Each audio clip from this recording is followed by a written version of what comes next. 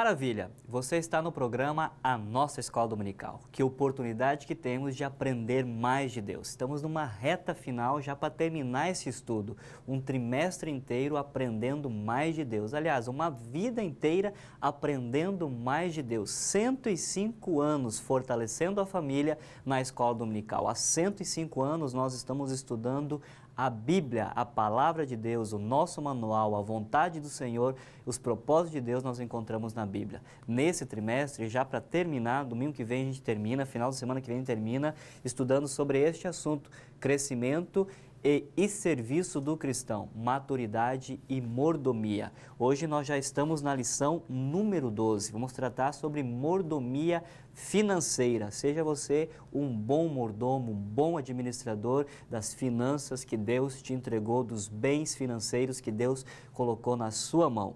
Acompanhe comigo o texto áureo de hoje e também a leitura bíblica, é escrito sagrado, está na sua Bíblia, também está na revista Mateus no capítulo 6 e no versículo número 21. Porque onde está o teu tesouro, aí também está o teu coração. Verdade prática nos ensina. É privilégio administrar as finanças do Senhor para o bem do seu reino. Acompanhe também a leitura bíblica, que também está em Mateus, no capítulo 6, no versículo 20 até o 24. Mas ajuntai para vós outros tesouros no céu, onde é traça nem ferrugem corrói, e, nem, e onde os ladrões não escavam e nem roubam, porque onde está o teu tesouro, aí estará também o teu coração. São os olhos a lâmpada do corpo. Se os teus olhos forem bons, todo o teu corpo será luminoso. Se, porém, teus olhos forem maus, todo o teu coração estará em trevas. Portanto, caso a luz que em ti há sejam trevas, que grande trevas serão. Ninguém pode servir a dois senhores, porque há de aborrecer-se de um e amar ao outro, ou devotará a um e desprezará ao outro. Não podeis servir a Deus e às riquezas. Que maravilha! Esse texto, um texto muito conhecido, é a base do nosso estudo de hoje, a lição número 12, mordomia financeira. Você já aprendeu os conceitos, a diferença entre mordomo, mordomia, a diferença também entre quem é o dono absoluto, o dono de todos os bens e como ser um bom mordomo. Na aula de hoje, então, você vai aprender a ser um bom mordomo dos bens financeiros do que o Senhor te deu. E nós vamos aprender com o Mestre os ensinamentos do Senhor Jesus. O Senhor Jesus nos advertiu que não devemos acumular riqueza aqui para nós mesmos aqui nessa terra. Não devemos colocar o nosso coração plenamente nos bens materiais e também é impossível servir a Deus e também servir ao mundo ou então servir às riquezas. É sobre esse assunto, um assunto muito rico que nós vamos aprender hoje juntos. Fique com a dica do professor e logo nós voltamos com a aula de hoje. Dica do professor. Olá, querido professor. Na lição número 12, vamos ver mordomia financeira, um tema sensível e importante para a vida da igreja. Observe com seus alunos no início desta aula e faça pequenos grupos, de dois a três alunos, para conversarem sobre o tema. Dê algumas questões relacionadas à vida financeira, como o que você acha de dar ofertas, como você administra o seu dinheiro. E ao final, peça que eles exponham a conclusão que chegaram vamos observar a opinião de cada um deles, para no decorrer da aula conseguir transmitir os objetivos dessa lição. Aproveite todos os recursos da sua revista, o devocional diário e apresente seu plano de aula. Aproveite para semear vida na vida dos seus alunos. Nós nos encontramos na Escola Bíblica Dominical. O programa de educação cristã continuada é a mais moderna ferramenta de estudo sistemático da Bíblia, podendo ser aplicado na escola dominical, células missionárias, cultos domésticos, entre outros grupos pequenos. Um currículo completo, baseado nos melhores cursos de teologia, contemplando e preparando o aluno nas áreas de prática ministerial, estudos bíblicos, desenvolvimento espiritual, evangelismo e missões. 12 temas, 156 lições. Ao final de três anos estudando uma lição por semana, o aluno tem direito a um diploma do curso em Teologia Básico na Escola Dominical. E para os professores, suporte especializado, livros e leituras complementares para uma aula completa e dinâmica. Para saber mais, acesse educaçãocristãcontinuada.com.br ou ligue 091 3110 2400. Programa de Educação Cristã. Aqui tem mais de Deus.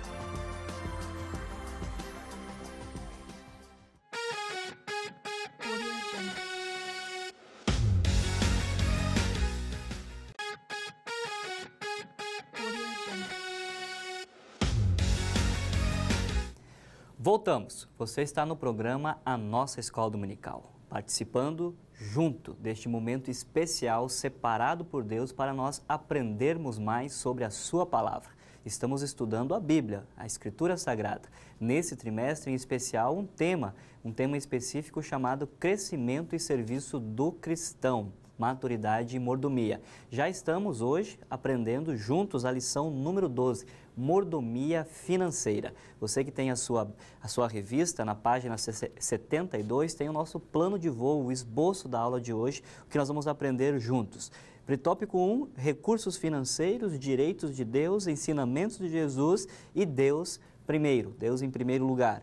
E segundo, tópico 2, é, atitudes a evitar. Só, só o tópico já diz, já é, a, já é a aula desse tópico. Evitar ganância, avareza e preocupação. Tópico 3, atitudes a cultivar. Contentamento, liberalidade e também sabedoria. E ao final, uma aplicação pessoal para a minha vida e para a sua vida.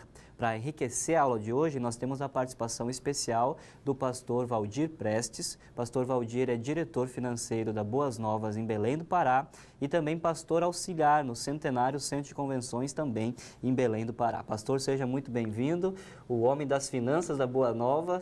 E aí, pastor, o mordomo das finanças da Boas Novas, seja muito bem-vindo. Obrigado, pastor. É verdade. Cuidar da finança, tanto de Deus como nossa, é algo que requer da gente muito, mas muita disciplina. E essa revista, ela traz alguns pontos especiais e muito bom para a gente aprender. Tratar de mordomia, administrar, principalmente o recurso que não é nosso, como no caso é da obra do Senhor, e o nosso também requer algumas coisas que nós vamos aprender nessa lição. Nós, nós estamos vindo aprendendo já de lições, né? já, já aprendemos lições anteriores, que Deus é o dono absoluto de todas as coisas. E talvez alguém possa ainda estar incomodado ou talvez assistindo pela primeira vez, participando do programa primeira vez, e assim como dono de todas as coisas, se eu trabalhei, se eu suei, se eu ralei, então eu comprei o carro, ele é meu, mas o carro não é meu, o carro é de Deus, né? Então, o senhor poderia alinhar para nós esse conceito, né, de quem é o proprietário e quem de quem é a propriedade, como é que funciona aos olhos de Deus os bens financeiros? Sim, certamente todo o sistema monetário existente desde a criação do mundo foi feito por Deus. Por quê? Porque a gente já lê no livro de Gênesis que um dos rios que estava compondo ali o Jardim do Éden, Deus diz que havia ouro, e ouro bom. Uhum. Tá? Aí vem o livro de Ageu e diz que a terra, ouro, prata, tudo pertence. O Salmo 24 diz o quê? Que a terra e toda a sua plenitude pertence ao Senhor. Então a gente já começa a aprender que tudo que existe na Terra, Deus criou. Então, uhum. se Ele criou, Ele é o dono. Ele é o dono de todas as coisas. E Ele entrega isso para quem? Para os seus filhos cuidarem, administrarem. Tá? Enquanto Deus nos é, autoriza a administrar, ele entende que nós temos que ter a capacidade e algumas coisas bem básicas quando se trata de finanças. Uhum. A, qual é a regra básica quando a gente senta numa academia, numa universidade, para tratar de economia? Tá? A regra básica é, ninguém pode o quê? Gastar mais do que recebe. Uhum. Tá? Então, Deus, quando Ele atribui para nós essa responsabilidade, Ele nos dá talento, nos capacita, e tudo isso nós vamos ver nessa lição. Deus é o Senhor, é o controlador. Uhum. E sobre mim, sobre você, sobre aqueles que nos assistem, vão estar essa responsabilidade de como administrar o recurso que entra. Aqui na Boas Novas, o recurso que entra, como nós temos que planejar controle, o que, que eu gasto, o que, que eu pago, com inteligência, com sabedoria. Isso tudo Deus nos dá para que possamos utilizar para a glória dele. Então, tudo é direito de Deus. Tudo, tudo, tudo é direito de Deus. Tudo direito. Ele é o dono legítimo de todas as coisas. Todas as coisas pertencem a Ele. Todas, ouro, prata, terra, tudo que pertence a Ele. Ele é o Senhor, Ele é dono de todas as coisas, ou seja, tudo pertence a Ele. E cabe a nós, então, pedir a sabedoria do alto para ser bons mordomos das coisas deles. Então, nós podemos ser bons mordomos em casa, né, com as nossas finanças particulares, com o salário, com os rendimentos, com a, a pensão ou aposentadoria, com o que Deus nos deu, ser bons administradores disso. E, além disso, né, administrar uma parte que Deus nos deu, que é para nós mesmos, uma parte de devolver, que é o dízimo, mas uma parte que é nossa também, não gastar com coisas supérfluas, com coisas banais, perder a sabedoria, investir sempre no que é vontade de Deus. É verdade. A gente tem que entender, enquanto Deus é dono de todas as coisas e a responsabilidade que nos dá, a gente tem que entender que o dinheiro, desde que saibamos usar, ele não é mal. Uhum. Ele pode ser tanto bênção como ele pode ser maldição. Agora, como é que hoje nós ensinamos porque eu aprendo com Paulo quando ele diz assim, que ele aprendeu com Cristo, que ele aprendeu com Cristo, ele passa para nós. Então, eu aprendo com Cristo, pá. Então, todo recurso que nós temos na mão, o recurso que eu estou falando, eu estou falando de trabalho. Certo. Tá? E qual é o trabalho? Diz assim a palavra de Deus, que do suor do teu rosto ganharás o teu pão. Não. Então, o trabalho, desde que ele seja honesto, preste bem atenção, nós estamos falando de honestidade, e que coisa se falar de honestidade nessa nação chamada Brasil. Então, você tem que trabalhar honestamente e ganhar o teu salário, o recurso, o dinheiro, a moeda, real, dólar, euro, seja qual for. E esse recurso, quando você coloca nas mãos, você tem que entender que foi Deus que lhe deu. O dono é ele. Uhum. Tesouro é dele, a prata é dele, o ouro é dele. Então ele passa para mim de uma forma do meu trabalho, do meu sustento. Se der uma historinha, pastor, rapidinho, deixa eu lhe contar. Há um tempo atrás, a nossa cidade ela foi impactada com uma tal da pirâmide. Certo. Tá? Aquele dinheiro para ganhar fácil. Você investe um dinheiro e a promessa é que daqui a dois, três meses você vai estar tá ganhando muito. Chegou alguém comigo na minha sala trazendo essa pirâmide. Alguém chamado cristão. Você vai ser rico. É, você vai ser rico. Pastor, você vai enriquecer. Basta você aplicar, na época era 3 mil reais, eu lembro muito bem.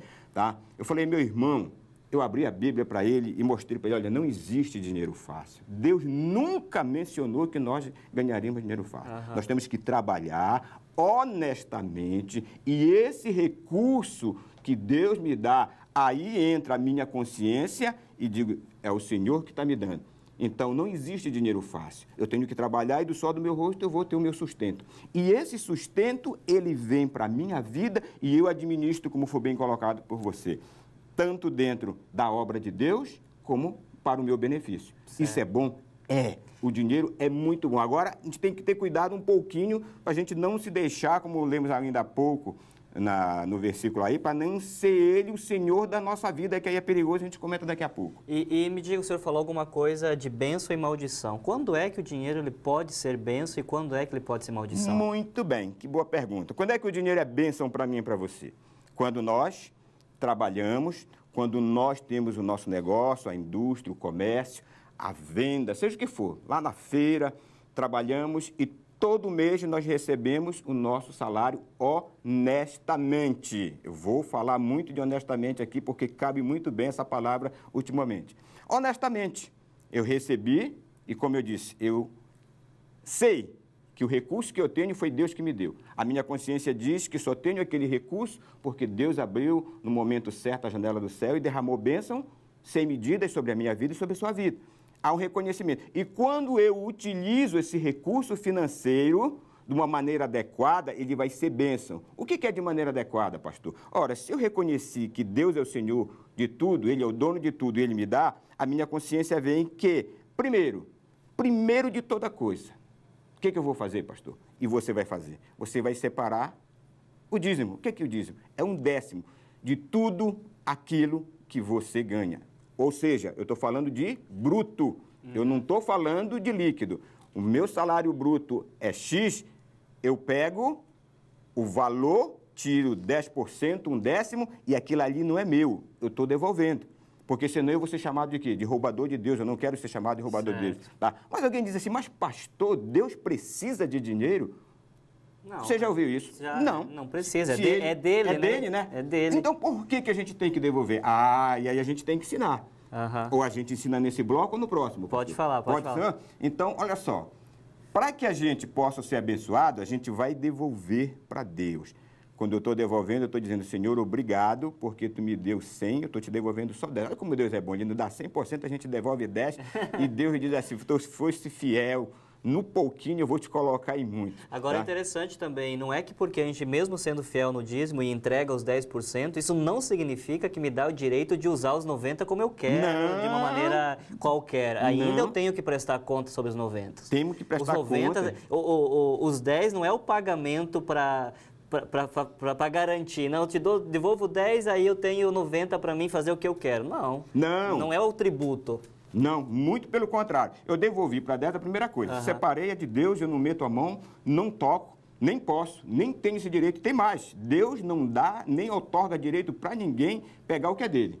Certo. Se eu fizer isso, eu estou entrando em maldição. Sabe por que que muitas pessoas estão entrando em maldição nas finanças? Porque não tem separado aquilo que é de Deus. Eu não posso ficar. Pastor, eu não posso ficar com o seu salário. Você não pode ficar com o meu. Eu estou lhe roubando, estou tirando aquilo que é seu.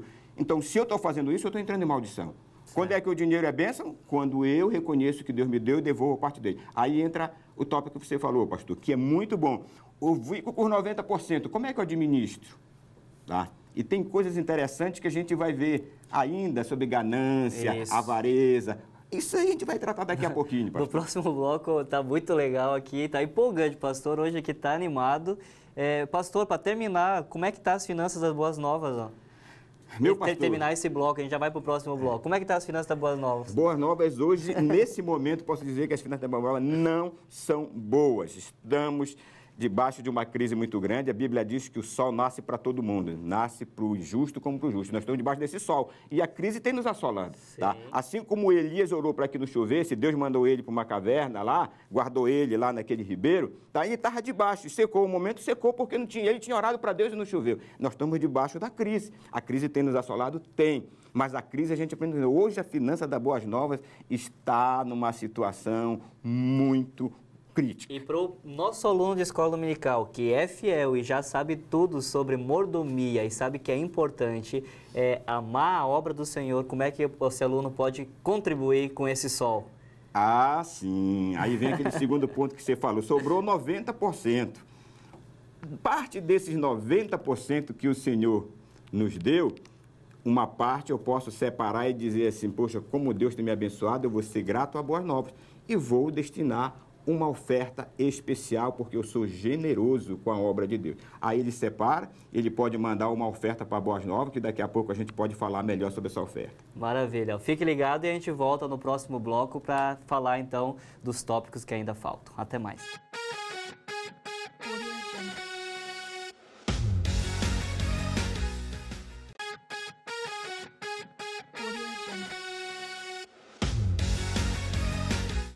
Voltamos. Você está no programa A Nossa Escola Dominical. Juntos estamos aprendendo mais de Deus. Nesse trimestre, estudando sobre crescimento e serviço do cristão, maturidade e mordomia. Já estamos na lição número 12, mordomia financeira. Estamos aqui um papo muito legal com o pastor Valdir Prestes e falamos sobre, falamos um pouquinho de todos os tópicos. É, falamos dos recursos financeiros, tópico 1, direitos de Deus. Nós vamos voltar um pouquinho sobre os ensinamentos de Jesus e Deus primeiro, nós também já falamos. Do tópico 2, atitudes a evitar, né? Só, só o tópico, só o que está escrito aqui já é a aula. Ó. Evitar ganância, evitar avareza, evitar preocupação. E também atitudes a cultivar. Só o subtítulo aqui, o subtópico, já também já é, é aula. É cultivar contentamento, cultivar liberalidade e cultivar também a sabedoria. Pastor, para nós voltar um pouquinho aqui no tópico primeiro, os ensinamentos de Jesus. O que, que Jesus falou sobre dinheiro? Como que Jesus nos ensinou a sermos bons mordomos financeiros? Olha só, aqui na própria revista, no ponto 2 do primeiro tópico, tem lá Mateus 16, 19 a 21.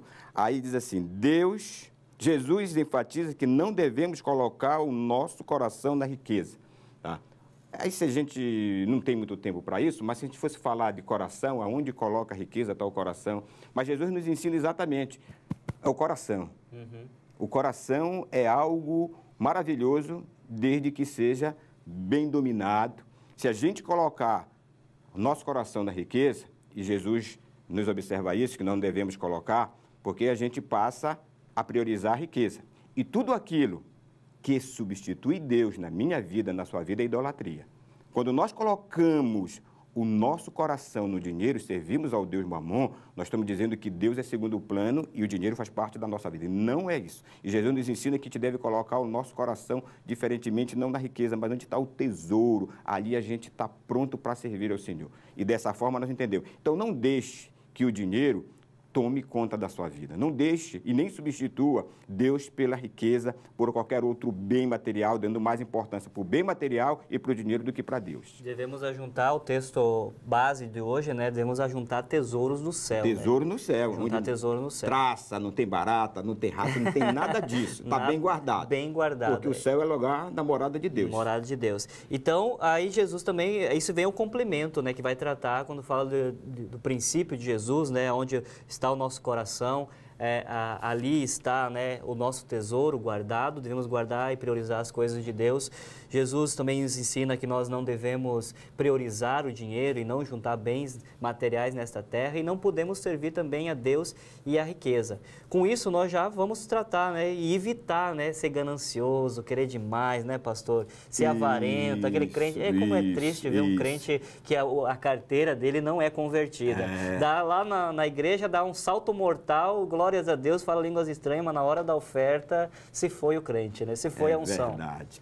Isso é, isso é avareza. É avareza. Avareza, ganância. Esse apego excessivo por bens materiais, a ganância no caso é isso, e o apego excessivo pelo dinheiro é avareza. Tudo que a pessoa vive é pelo dinheiro. Isso é errado uhum. e condenável. A gente acompanha muito bem essas atitudes aqui. A avareza, então, é considerado como idolatria, tá? Porque eu não consigo pensar, e eu conheço muitas pessoas, não conseguem pensar em outra coisa a não ser no dinheiro. Deus é secundário. Tá? Eu, há muitos anos atrás, quando trabalhava numa empresa, eu tinha um determinado chefe que ele batia assim, ele dizia assim, meu Deus, é isso aqui. Ele batia no bolso dele. Minha vida está no dinheiro. É, eu disse, triste homem, tolice, é um tolice, tolo, que é. não conhece. Então, nós devemos nos afastar da ganância, da avareza, dessas coisas que nos separam de Deus. E o que, que a gente pode cultivar para nos aproximar de Deus? Ah, contentamento, tá? Lá acho que é 1 Timóteo 6, Paulo fala sobre contentamento, a gente viver com aquilo que a gente tem. Uhum. Tá? Ah, mas pessoal, ah, então eu tenho que ficar assim porque eu ganho X, eu tenho que me contentar. Não, faça um curso, uma faculdade, tá? mas se contente com aquilo que tem, tá? Agradeça a Deus porque nós vivemos dessa forma com contentamento, nós vamos estar agradando a Deus. Pedindo né, de uma forma liberal, né, sempre colocando a mão no bolso, semeando na obra, sendo fiel no dízimo, ofertando, né, fazendo parte da obra social, Rede Boas Novas, tantos projetos da igreja local, missionários é, no estrangeiro, também no local, pedindo a Deus sabedoria também, né, pastor, para como administrar esses 90%, né? É, a liberalidade que nós temos, mas muito cuidado, viu? Hoje em dia nós temos visto aí algumas coisas que não são verdadeiramente de Deus. Mas a gente tem que ter o amor à obra, como você colocou, missões, dentro da igreja a gente vê os pobres, a ação social. Isso é muito importante, isso é o amor que a gente tem, como eu falei no coração. Se a gente tem amor pela obra de Deus, a gente vai com certeza fazer o bem. Pastor Valdir, muito obrigado. Terminou nosso tempo. Parabéns pela aula. Fique com a aplicação pessoal. Você é aluno, professor que está nos acompanhando. Página 76. Ao administrarmos o dinheiro e os bens que Deus colocou aos nossos cuidados, devemos sempre nos lembrar de que Ele é o dono e Senhor de tudo. Portanto, precisamos estar em sintonia com a vontade de Deus, sabendo que um dia teremos que prestar contas de tudo. Deus abençoe e até a próxima aula.